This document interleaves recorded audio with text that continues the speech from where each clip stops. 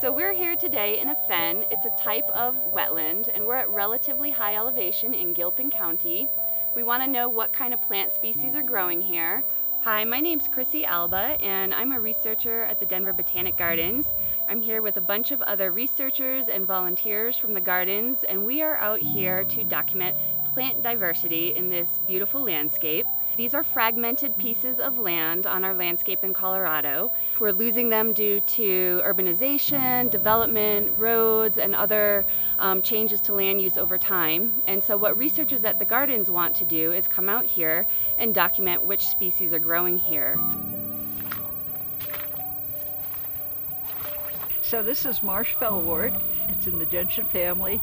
We decided we would not collect it because there's only two plants here, quite rare, and we don't want to decimate the population. So we're leaving it in place to enjoy its beauty where it is.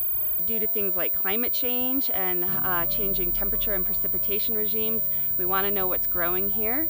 That's our baseline foundational data for understanding the communities that we all love to visit when we hike, when we camp, and when we use nature to spiritually enrich ourselves. And so we love to, to link the science to what people um, connect to on the landscape. And so we do a lot of outreach to try to share the information that we learn when we are out here um, enjoying our beautiful habitats in Colorado.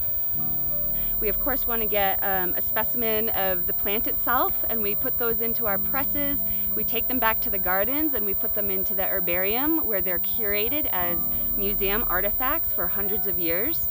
We link all of the data about the habitat and the location and co-occurring species with that specimen so that researchers in the future can use it to understand what's going on in this wetland that we're sampling today.